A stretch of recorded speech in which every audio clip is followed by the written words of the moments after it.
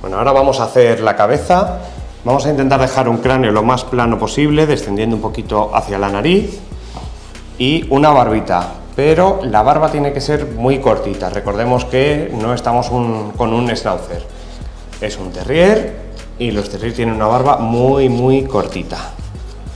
Así que vamos a ir quitando, también haciendo stripping, en este caso con una piedra pómez, ya que estamos en una zona bastante más delicadita, el pelo es más lanoso y nos va a ayudar mucho más a arrancar el pelo con una cuchilla que en este caso cortaría la mayoría.